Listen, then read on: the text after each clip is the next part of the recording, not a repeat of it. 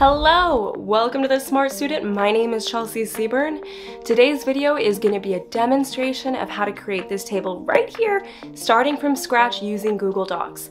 If you'd like to watch the full video that has everything you need to know about tables and figures under APA 7th edition, be sure to check out this video right here, which will be linked down in the description below. But we have a lot of ground to cover, so let's go ahead and get started.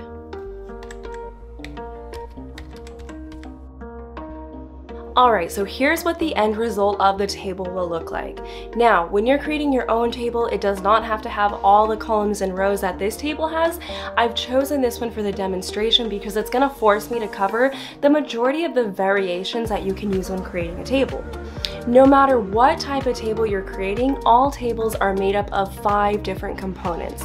As you can see here, you have a table number, table title, the body portion, headings, and any necessary notes.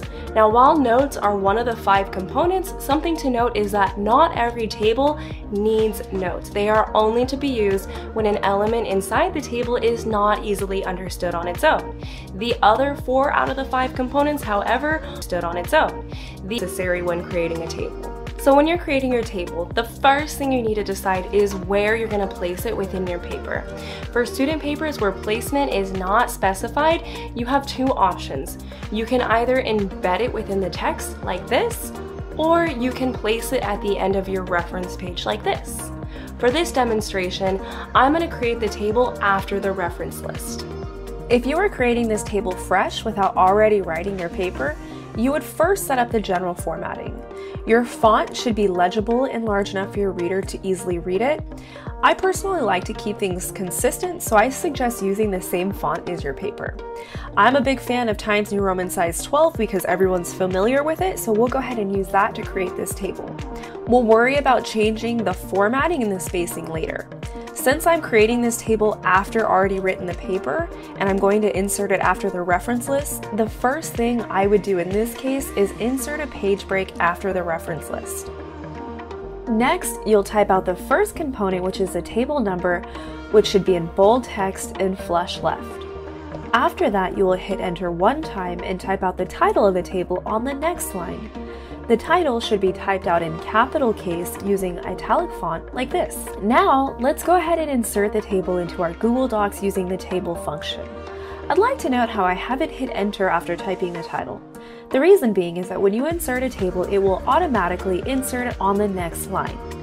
So from here, I would go up to the toolbar, select Insert, select Table. From here, you'll want to select the amount of rows and columns your table has. For this example, that's 12 rows in 6 columns. As you can see here, we now have a rough table in our document. Now, we're going to add in all the data first, and then we'll worry about formatting it last. In this example, the first row is made up of what are called column spanners. This is because these three columns span more than just one column. To insert the data, I'm going to highlight the two columns, right-click, select merge, and then type in my column heading. I'll repeat this for the next two columns.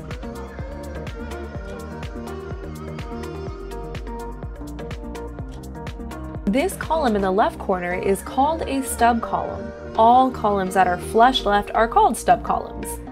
On the next row, I'll add in the headings for the next line of columns.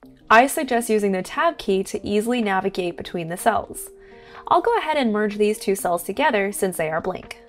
Next, I will add in this heading, which is called a table spanner because it spans the entire length of the table. To do this, I will highlight all the cells in this row, merge them, and then type in my heading like this. Let's go ahead and finish up the headings before we add in the data to this table. Here are the rest of the stub headings. All of them in this table span two columns. I wanted to show you that you can merge the cells after you've typed the data in. Either way works just fine. Since the four stub headings below these four are identical, I'm going to go ahead and copy and paste them for easy formatting. Great! Let's finish up our last heading, which is a table spanner for the second half. Again, I'm going to merge all the cells together and type in my title. Remember, we'll fix all the table formatting once we're finished inputting all the data.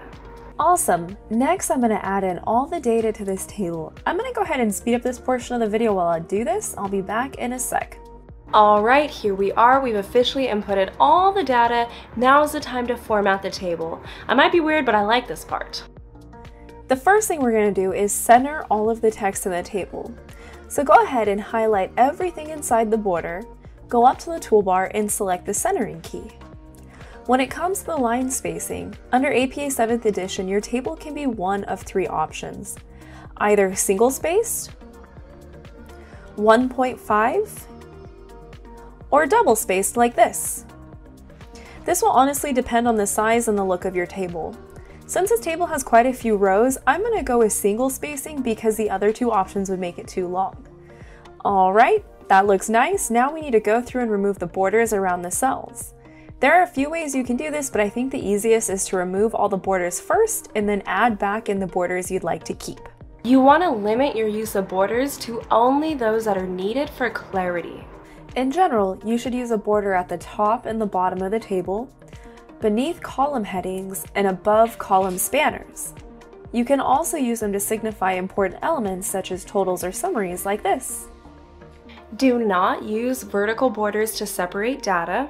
Do not use borders around every cell in the table. Do not use any shading or any type of coloring in the table. Lastly, do not use any bold or italic fonts within the table to emphasize cells. So with all of that in mind, what I'm going to do is remove all of the borders.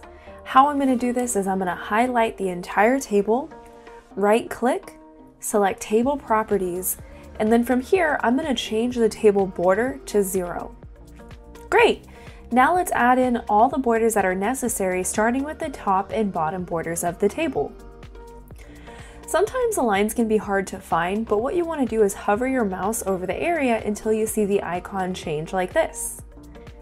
You can either change your borders one at a time by clicking on the single line and selecting the line sizing button from the toolbar and then changing it back from 0 up to 1. To make this easier, you can change the borders in groups by holding down the Shift key as you select multiple lines. Once you have a full row selected, you can then change the line sizing to add the border back in. I'm gonna speed this up again and go ahead and just finish this part. And voila, look at that. Beautiful looking table if I do say so myself. The final step is adding in any necessary notes. Like I said at the beginning of this video, not all tables need notes. They're only to be used when something within the table needs further clarifying. When it comes to notes, there are three levels. You have general notes, specific, and probability notes. No matter what type of note you're using, they should all be placed directly underneath the table with one double-spaced line separating the table and the first note.